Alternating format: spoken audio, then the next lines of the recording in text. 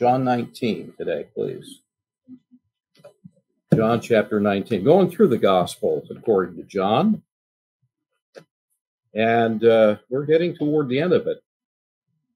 This 19th chapter is. Uh, it's what I would call holy ground. It really is. It's Jesus as he goes to the cross and faces that death of the cross. It's a time in Jesus' earthly life that is often referred to as his humiliation.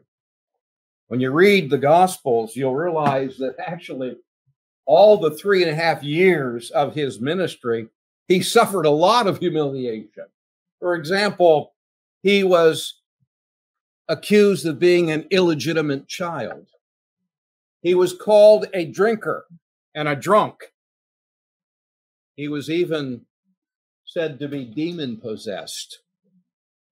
Well, in chapter 18 and 19, we have here John recording the ultimate humiliation that Jesus suffered during his earthly life and ministry, where he is taken by wicked hands and he is tortured and he is executed. Now, I remind you that that though it happened, was in the plan of God. It was by God's determined counsel that this took place, even though it involved wicked people that conjured it up and that carried it out. But I want us to look at John 19 and just look at it in three parts. First of all, there's the trial in the first 16 verses. And then that trial turns to be fatal.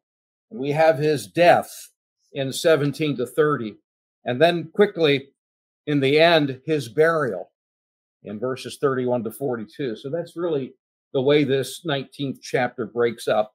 And I want to share with you as we begin by looking at the trial in just a moment after we pause to pray. So, Heavenly Father, thank you for this opportunity we have to be here. Thank you, Lord, for the Bible. Thank you for this specific portion that we're looking at this morning. What a wonderful work. What a complete work. What a example of meekness, of humiliation, of submission that we have right here before our eyes. Lord, we know the great purpose and the great work that was accomplished. We're the benefit, uh, we're, we're the beneficiaries of it. We're blessed because of your actions that are recorded here in this 19th chapter. We praise you for. May the somberness of it, may the joy of it mingle together and uh, really grip us today as we consider this passage. Open our spiritual eyes, enlighten our hearts, we pray, Spirit of God, for Jesus' sake. Amen. So the first 16 verses I said is the trial. And actually, there are six separate trials that Jesus goes through. Now, this is the second time that he appears before Pilate, and it actually began in chapter 18 with, with verse 28. I like to think of it like this. Instead of Jesus before Pilate, I like to think of Pilate is before Jesus. It's like Pilate is on trial here. Uh, the tables really get turned because the fact of the matter is Jesus's trial is a sham, all of them uh, that he endures. It really reveals the fact that wicked men are ganging up and working together to put to death, to kill the most innocent man that ever lived. And at the same time, you see God's graciousness in devising this method of a plan of redemption. That He, the God of heaven, would allow Himself to be subjected to this kind of treatment. When I stop and I think about that, I'm just amazed. This is who Jesus is. He is the eternal God. In Isaiah's prophecy, he's called the everlasting Father. And what he stoops to allow to be done to him is absolutely incredible. It's beyond, uh, it's mind boggling. It's beyond imagination.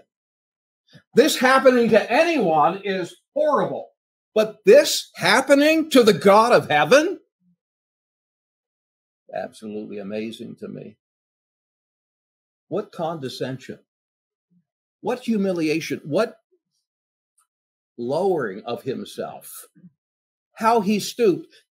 Paul says it this way he didn't see his deity as something to be selfishly grasped onto he took upon himself the form of a man and then the form of a servant and then became obedient unto death, even the death of the cross. And you see the progression as he goes down lower and lower. That's what we have happening here right before our eyes. And it's all God's wonderful plan. Look at the violence that is involved here, as is recorded in these first seven verses of John 19. And you know, Pilate clearly indicates he knows that Jesus is an innocent man, that these charges aren't real, that he is being charged with. He knows Jesus is innocent, but what we're going to find out about Pilate is that Pilate is an appeaser. He'll do anything to appease the crowd, the mob, so that they don't riot and he can keep control of them. What we see in the first three verses is the violence of Pilate's soldiers. What you have to, I guess, understand is back in that day, Pilate, his his uh, palace was actually in Caesarea on the Mediterranean Sea up north. He came to Jerusalem because it was the Passover season. Hundreds of thousands of people would crowd into Jerusalem, and they needed uh, the Roman government to protect and to keep peace. And so Pilate would move from Caesarea down to Jerusalem and he would stay in Herod's old palace. It was called the Fortress of Antonia in that day. And that's where he was when all of this is played out. He had his palace, and across the courtyard from his palace was the barracks of the Roman soldiers that he had uh, with him to keep the peace in Jerusalem during the Passover. And these are the soldiers that we meet here in uh, verse 1 and 2 and 3 of the opening of chapter 19. What Pilate has done is he has appeased the crowd. He gives the, the, the Lord Jesus into the hands of his soldiers. And his idea is I'll let them flog him, I'll let them whip him.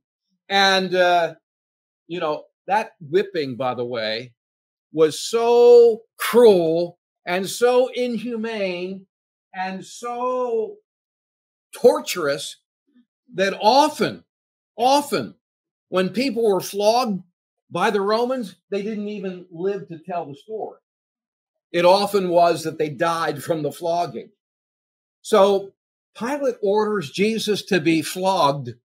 And I think he's he's probably thinking, I'll satisfy their bloodthirstiness by having him flogged because the whip had uh, sharp lead ends on it that uh, when it hit the back of the individual, they would jerk it and it would actually rip strips of flesh right off of the backbone. And so this is what uh, he suffered that sharp lead tipped whip that's what happens. It just says it very simply. And they took Jesus and scourged him. That's all we're told about it. We don't get the, the nasty details. Verse 2 What else did the soldiers do? They platted a crown of thorns and put it on his head and put a purple robe on him. This is, of course, their way of mocking him. The soldiers crown you, you're the king of the Jews. Well, we're going to make you a crown. And so they wove a crown out of thorns. we're talking thorns that were several inches long. Interesting to me that when Adam sinned in the Garden of Eden that one of the curses that God placed upon the ground was that thistles, thorns and thistles would grow out of it so that it would even make agriculture and their ability to provide food for themselves and their animals more and more difficult. So thorns are associated with the curse that God placed upon man for his sin. And here's Jesus, who is, as the writers of the New Testament tell us, he is the one who becomes sin for us. He's the one that bears our sins in his body on that tree. And so they put the very symbol of the curse of sin by weaving this crown of thorns and putting it on his head. Doesn't tell us here in this gospel, but we know from the other gospels that not only did they put that crown of thorns on his head, but they hit his head with a stick to knock it down into his brow and uh, to cause it to, of course, be painful. They put a purple robe on, or a purple robe was a, a color of royalty. You're the king of the Jews. Okay, we're going to crown you and put a robe on you. And they put a purple robe on him. And then it says in verse three, they mocked him. Hail, king of the Jews. Look at him. And they smote him with their hands. And as they pummeled him with their fists, is what we should understand for that. So the violence, just in those first three verses, there's so much that John doesn't tell us, and he was a witness there at the cross. But then the violence in a different way. It's verbal violence, you might say, picking up in verse four down through verse seven, and it's the Jewish leaders that are, are the ones doing it. Pilate went forth again, and he said unto them, verse 4 Behold, I bring him forth to you, that you may know that I find no fault in him.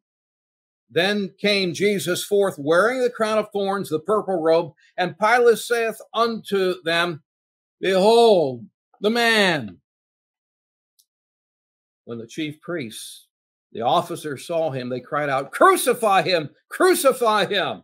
Pilate saith unto them, You take him and crucify him, for I find no fault in him. They said, We have a law. By our law, he ought to die because he made himself the Son of God. So here is the Jewish leaders, and they are stirring up an absolute uproar uh, among the people.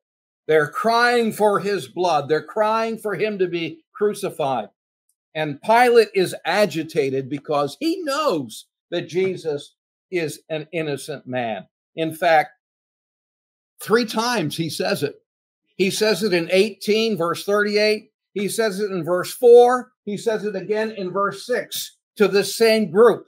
He is innocent. I find no fault in him. You remember the Old Testament says, I think this is in Deuteronomy 19, that according to Jewish law, in the mouth of two or three witnesses, every word is established. The truth is established.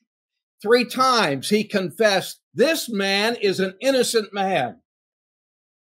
Pilate knew it. But the Jews are adamant. And he is such a weak, insecure, fearful appeaser in order to keep his position and to keep peace. He is so indecisive that he goes back and forth between Jesus and these Jewish leaders seven times, if you count them up in chapter 18 and 19. Seven times he schleps back and forth between the two of them. And then the verdict in 18 in uh, verse 8 of chapter 19 when Pilate therefore heard that saying he was more afraid of what? He was a very superstitious man as many of them were. He was superstitious because they said Jesus claimed to be the son of God. In other words, he claimed to be God. So did Caesar. Caesar claimed to be the son of God. And Jesus is, is claiming to be the son of God. Well, that really spooked him. And that made him afraid, it says in verse 8. And he went again into the judgment hall, and he says to Jesus, Where are you from? Whence art thou? Jesus didn't even answer. And then Pilate is, of course, agitated. Verse 10, he says, You're not going to answer me? Speakest thou not unto me? Don't you know that I have the power to, to kill you, to crucify you, or to let you go, to release you? I like to think that Jesus spoke very calm and quiet in verse 11. His answer is, Thou couldst have no power at all against me, except it were given thee from above. Therefore, he that delivered me unto thee hath the greater sin. Here's the verdict. And I like to pit it this way there's superstition, Pilate, versus sovereignty, Jesus. Jesus is in complete control of what's happening to him at this moment. We saw that last week. Remember when the soldiers came to arrest him, what happened to them? They fell backwards. Remember when Peter slashed off the ear of uh, the high priest servant and Jesus picks it up and heals it as if it never happened? He's in complete control, and that is why he says what he does in verse 11. You know, I didn't say this last week, but I was thinking about it, and perhaps I should say it now. Jesus is facing death, and he is in complete control of the whole situation, which leads me to say this, and that is God will never put his people into a situation that he is not in total control of. God is in perfect control of any situation that he allows his people in. You say, well, if that's the case, then I'm mad at him because I don't like the situation that he's allowed me to be in. Well, that's because your wisdom is so limited. That's because you can only see so little. But God sees the big picture and God sees the good that he means all of these things to work together for. He's got that infinite wisdom and he has a greater love for you than you can even imagine. And so he's in perfect control. There's never a situation that you and I are in that he's not in perfect control of. He's called guilty, but it's all based upon politicking. It's fake charges. And he says in that 11th verse to Pilate, the people that have more guilt than you for turning me over to be crucified, the people that are more guilty than you are the people that know because they have the scriptures, the people that know and yet reject the fact that it says in their own scriptures that I am their Messiah and they reject me. And that's a warning. That's a warning to us. We that we know the Bible, we have a Bible, we read our Bibles, I think. We hear Bible messages, we have Bible teaching.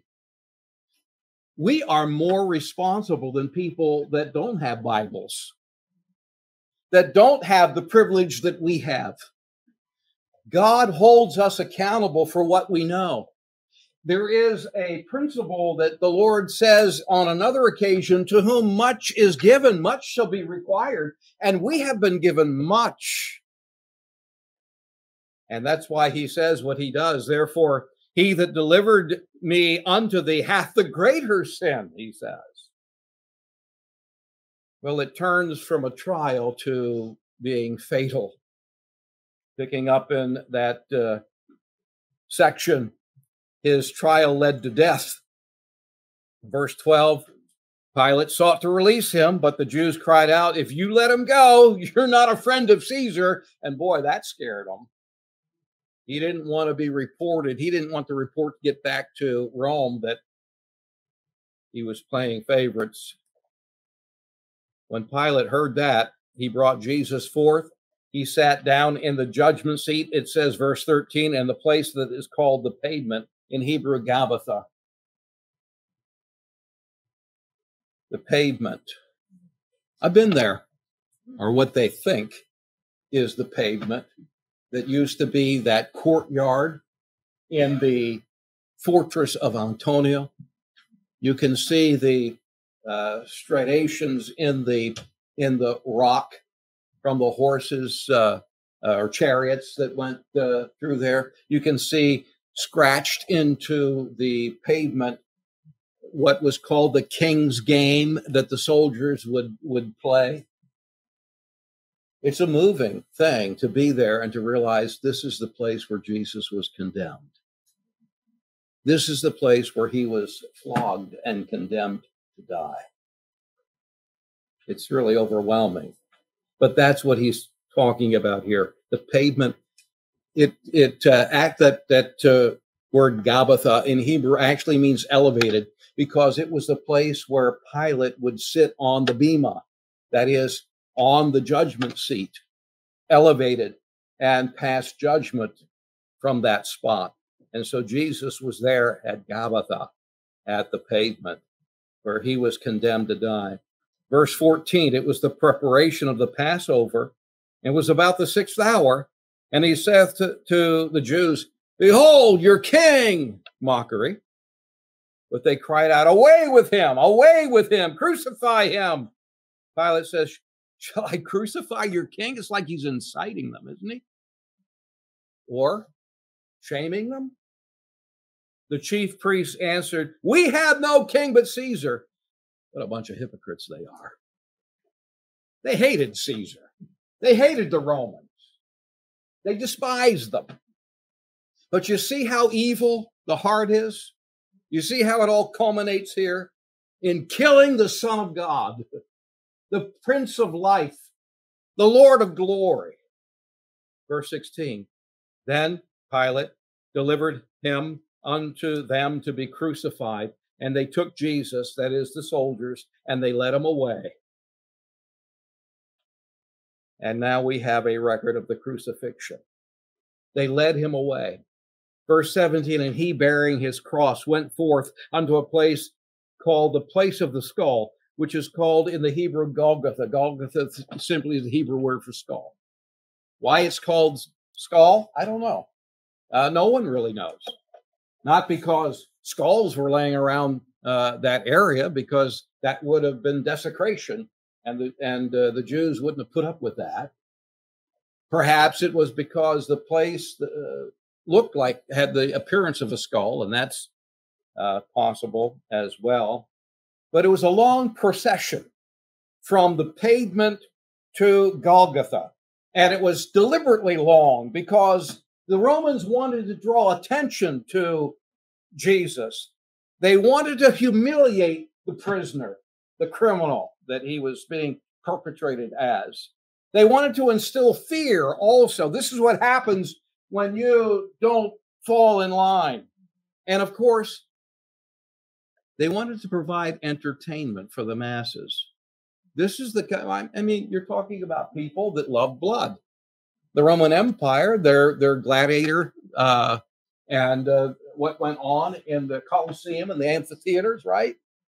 They loved blood. They thirsted for blood. It's interesting. The more that you, this is sidebar, the more that you submit yourself to viewing violence, the more violence doesn't bother you and you want more. It's like addictive, like pornography, violent pornography. But anyway, that's what's going on here. They're taking him from there to Golgotha. Now, we're not sure where Golgotha really is in modern day. Uh, the traditional site is that it is the Church of the Holy Sepulchre. You see, what happened when Constantine in 321 AD declared Christianity the religion of the Roman Empire. He not only baptized all of his uh, soldiers and made them Christians, but he his mother, his mother Helena, she went all over Israel, and she marked the spots where Jesus had been, and she made sure that churches were built or temples or shrines were built on those places. Well, that's what the Church of the Holy Sepulchre is. It's a, it's really a, it's become a, a shrine, and it's. I don't enjoy going there. it it just uh, completely destroys the whole thought of Jesus's crucifixion. It's all under the roof of this gaudy church. There's a different idea back in the mid to late 1800s, a British general who was also a um, who was also an archaeologist, Charles Gordon. He picked out a spot that he said was probably the real spot because it's a hill that has, if you look at it, it looks like a skull. There's there's caves for the two eyes, and so it kind of looks like a skull. Of course, it's eroding and doesn't look as much as a skull like it used to, I'm sure. But there's also a nearby tomb. It's called Gordon's Calvary, and that's where most uh, most tour groups go there too. Gordon's Calvary, and there's a nearby tomb. But the, the fact that most people don't know is that that tomb isn't first century tomb, second temple tomb. It's pro- probably a Byzantine third or fourth century tomb that they say this is the, the tomb that Jesus, you know, rose from. But anyway, that's beside the point. The point is that in all of this, Jesus is fulfilling prophecy. They crucified him. It says in verse 18, with two others with him, but Jesus is in the middle of these two, on either side. The crucifixion. It's where the psalmist says, They pierced my hands and my feet. It's the fulfillment of the crucifix. The, the crucifixion fulfilled that. And then look at this. Pick up in verse 19. Pilate wrote the title Jesus of Nazareth, the King of the Jews. Jewish leaders didn't like that. They wanted him to change it verse 21 say he said he was the king. He's not. So just he said he was the king of the Jews. The inscription. I think the inscription was a way that Pilate was insulting the Jews by saying, This is Jesus of Nazareth, the king of the Jews. This is the only king you'll ever have. This is the only king, kind of king you deserve but it was a true proclamation. Whether Pilate realized it or meant it or not, it was a true proclamation because Jesus is and will be returning as the King of the Jews. It'll be fulfilled. Well, then look at what happens with Jesus' belongings. There's a distribution that takes place.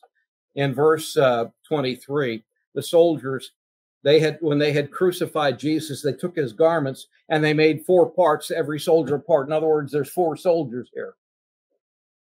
And they're distributing Jesus' belongings to these soldiers.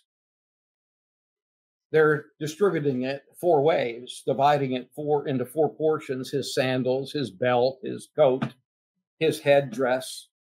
There is a seamless garment not sure if it's the if the inner or the outer garment, but it's a it's a it's a tunic that is seamless, which makes it the most valuable piece of Jesus's clothing. And so they choose not to tear it, thus to devalue it, but rather to toss dice to see who would become the owner of it so that they could then sell it or whatever. And so that is also a fulfillment of Psalm 22 18. They cast lots for my vesture, is what the psalmist says there. There's others that there's a distribution made to, besides the soldiers, of Jesus' belongings. But it's not something, it's someone. I want you to see this with me. Drop down to verse 25. Now there stood by the cross of Jesus his mother and also his mother's sister, and Mary, the wife of Cleophas, and Mary Magdalene. So there's at least uh, four women that are there. And it says, when Jesus saw his mother and the disciple standing by whom he loved. Well, we know who the writer of this gospel is. It's John. And John never names himself in this gospel, but we know from John 13 that he is the one who is called the disciple whom Jesus loved. Not that he didn't love the other ones, but there was a special connection that Jesus had with uh, his disciple John. So he sees John and his mother, and he says, Woman, Behold thy son. And he says to John, the disciple, Behold thy mother. And from that hour, the disciple took her unto his own home.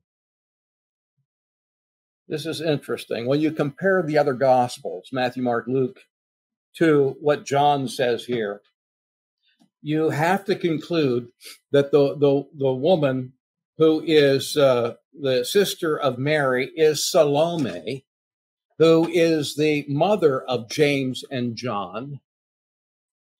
And it says that Salome, or the mother of James and John, is Jesus's mom sister.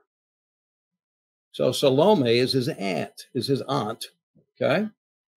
Which means that John, who he says, Behold thy mother, is his first cousin, which makes sense. He's giving his first cousin John, James and John were his cousins, his first cousins, according to the Gospels when you put it all together. But you know what's amazing to me? One of the most difficult things to do when a person was crucified was to talk and was deliberate. In order to talk, you had to actually expand your lungs, but the crucifixion made it impossible for you to expand your lungs unless you put pressure on the nails that were holding your feet and pushed yourself up to get a breath. That's how you had to breathe. And then down. And you can't speak without breathing. And what I see here is this is one of the seven things that Jesus says from the cross. And here he is in absolute agony. You and I can't imagine the agony of crucifixion. In fact, we get our word excruciating from the root word crucifixion. When something is the most severe pain imaginable, we, we say it's excruciating pain. And it comes from the cross, crucifixion, excruciating. So Jesus was in excruci- excruciating pain and yet, in that agony, he's thinking about others. He's talking about others. He, he says, Father, forgive them. they know not what they do. Mother, your son. Son, your mother. And he's taking care of his mother in his agony. And then the end comes. Look at verse uh, 28. Jesus, knowing that all things were now accomplished, that the scripture might be fulfilled, he said, I thirst. And it says, they there was a vessel full of vinegar. They filled the sponge with vinegar, put it on hyssop stick, put it up to his mouth, and he received the vinegar. That's a fulfillment of Psalm 69. They gave me vinegar mixed with gall to drink bitterness. I thirst, he says, reminds me of the fact that Jesus, on several occasions in his ministry, said, If any man thirst, let him come unto me and drink, or I give you living water. And if you drink of this water, you'll never thirst again. And I get the impression here that here he is physically thirsting so that we would never be able, so that we wouldn't have to spiritually thirst again. Amazing comparison here. He says, I thirst. And then verse 30, when he had received the vinegar, he said, It is finished. It is finished. Actually, those three words are one word in the Greek language the New Testament was originally written in. And it simply means redemption is secured. Redemption is paid for in full. You know, this is the crux of the matter.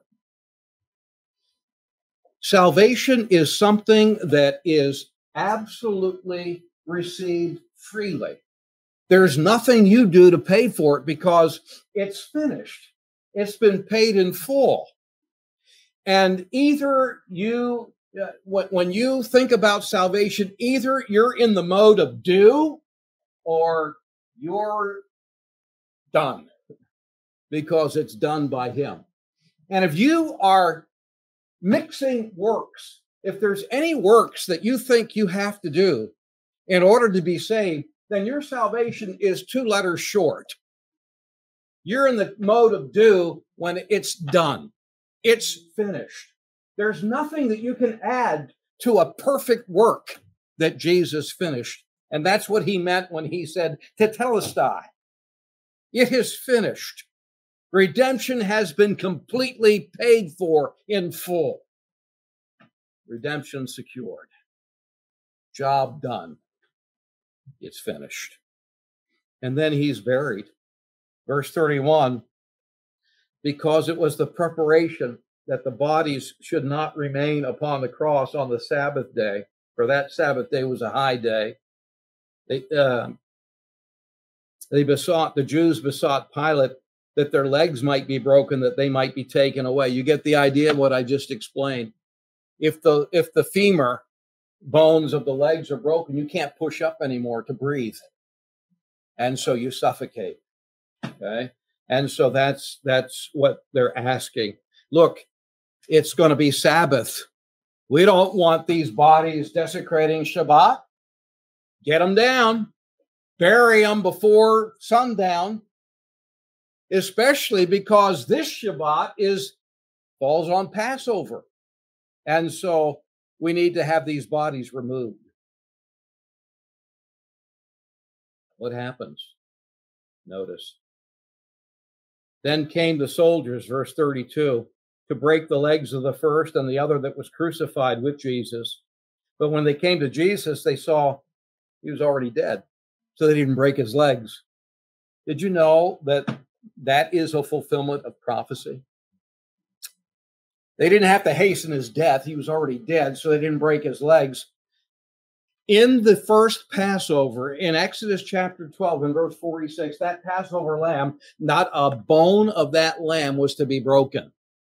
And he is the fulfillment as the Lamb of God. He is the fulfillment of the Passover lamb. Not a bone will be broken. He'll be pierced, but his bones will not be broken. So that's actually the fulfillment of prophecy as well as the fact that uh, it says that they looked upon him whom they had pierced. Not uh, necessarily in this particular text, but it is in others. Oh, here it is in verse 37. I, and again, another scripture, they shall look on him whom they pierced. That's the fulfillment of the prophecy in Zechariah chapter 12 and verse 10, which not only pertains to that, but it pertains to a future when Israel's eyes are, be, are opened and the nation is redeemed at the end of Jacob's trouble, they shall look upon him whom they pierce and they will mourn for him. Zechariah 12 10 says, Revelation 1 7 talks about every eye shall see him, and they, the Jews that, that pierced him, will look upon him when he comes again. Mm-hmm. Fulfillment of Scripture. Then look at verse 38. Joseph of Arimathea. He was a member of that 70 leading elders of the Jewish council, the Sanhedrin. Joseph of Arimathea, being a disciple of Jesus, but secretly for fear of the Jews, besought Pilate that he might take away the body of Jesus, and Pilate gave him leave. He therefore took the body of Jesus. And also there came Nicodemus, who was also a member of that Sanhedrin council of the, the leading 70 Jewish leaders of Israel.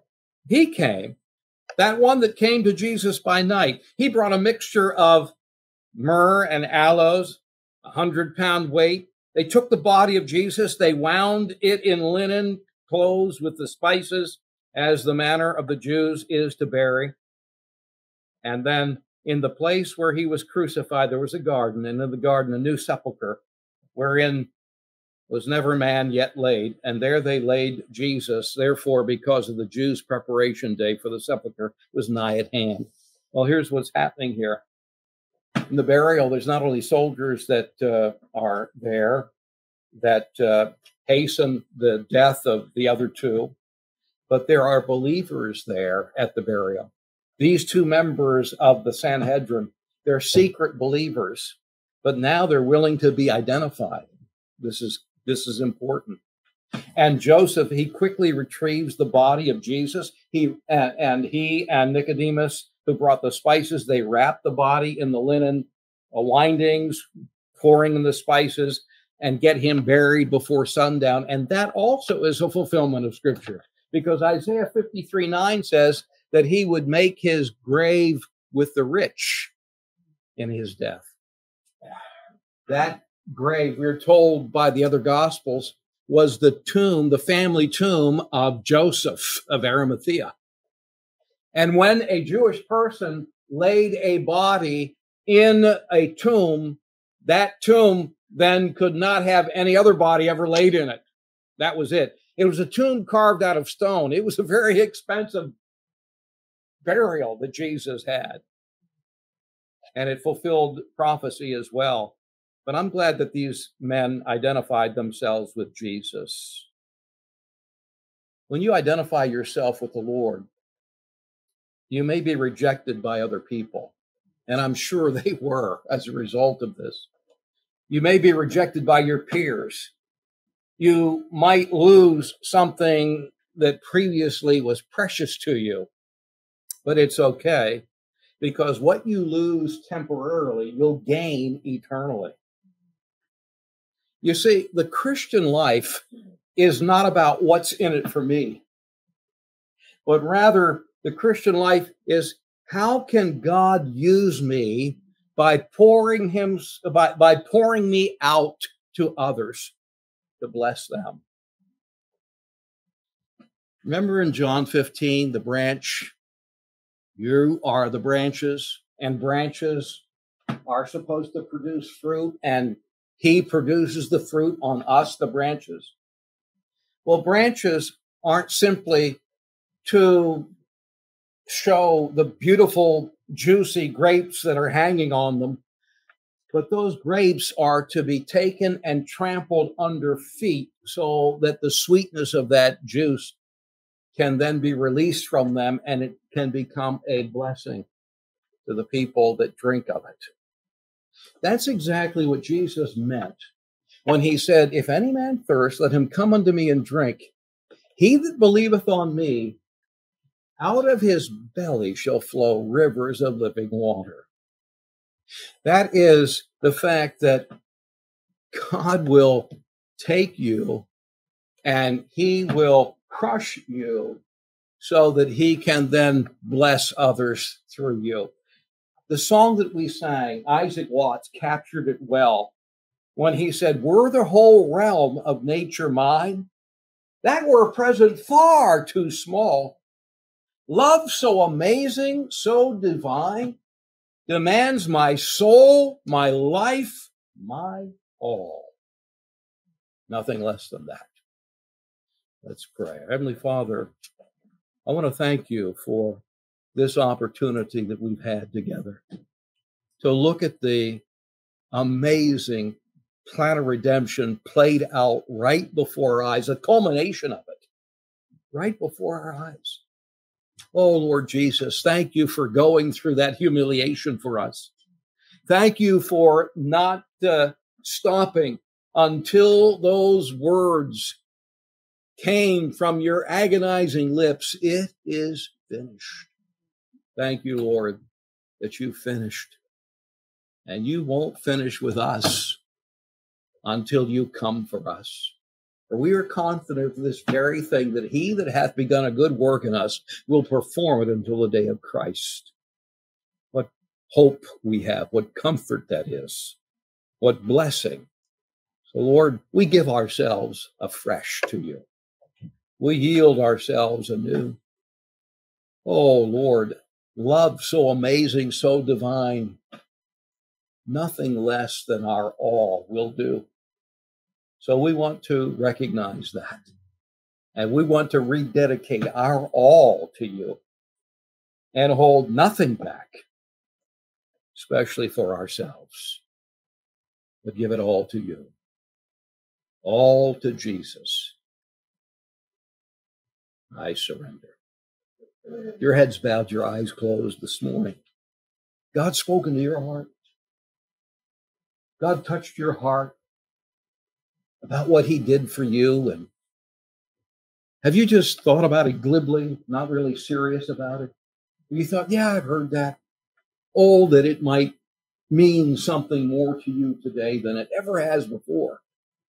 That you may be, that you may be touched in your heart of hearts and that you might recognize the awful cost that he paid to redeem you, that your life then would be used in a redeeming way for others. For you're not your own, you're bought with a price so that you can glorify God in and through your body, which belong to him because he paid in full for them. He gave himself for you. Will you give yourself back to him in surrender this morning if you haven't? Or if you have, would you would you make that a fresh surrender today? May the Lord help us. You don't know him as your Savior, you just saw a picture of how much he loves you and what he did for you. Are you going to continue to hold out on him?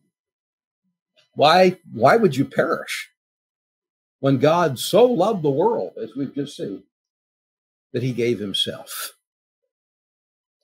If you don't know him as your Savior, you can know him today and have life eternal. You can take him and what he's done for you. You receive him, you have eternal life.